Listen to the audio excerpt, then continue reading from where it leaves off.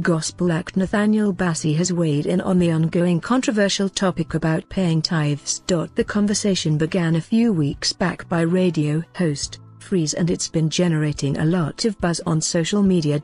Here's what Nathaniel Bassey thinks about it, tithing, whether Old or New Testament oh, or whether under the law or under grace oh. Count me in. I love this God too much to argue about one small fraction of what he has blessed me with.